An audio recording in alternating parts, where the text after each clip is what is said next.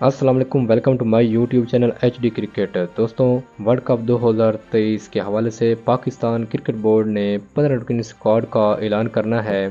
तो उसमें मोहम्मद आमिर को पंद्रह रुकनी स्क्वाड में शामिल करने का कभी इम्कान है। इसके अलावा इमाद वसीम और स्पिन बॉलर इब्रार अहमद को भी शामिल किया जा सकता है।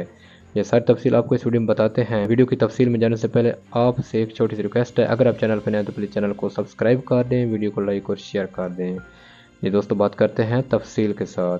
पाकिस्तान ने वर्ल्ड कप के लिए पंद्रह रुकनी स्क्वाड का ऐलान करना है। कल या परसों मुतव है। तो उसमें मोहम्मद आमिर का कभी इम्कान है कि पंद्रह रुकनी स्क्वाड में शामिल किया जाए। तो चीफ सेलेक्टर इंजमामुल हक ने भी मोहम्मद आमिर के बारे में एक इंटरव्यू में कहा है कि अगर मोहम्मद आमिर रिटायरमेंट वापस ले लेता है तो तब हम मोहम्मद आमिर का पिछले साल का पीएसएल कैरियर देखेंगे। तो उस हवाले से मोहम्मद आमिर को टीम में पंद्रह रुकनी स्क्वाड में शामिल किया जा सकता है। जी दोस्तों, चीफ सेलेक्टर इंजमामुल हक ने मोहम्मद आमिर को प्रैक्टिस की इजाज़त भी दे दी है।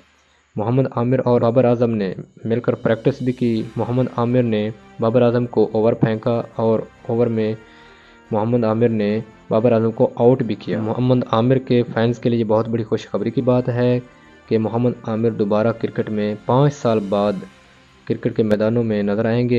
ये वीडियो अच्छी लगी है तो लाइक कर दें। इस तरह की ताज़ा अपडेट आपको बर वक्त मिलती रहेगी।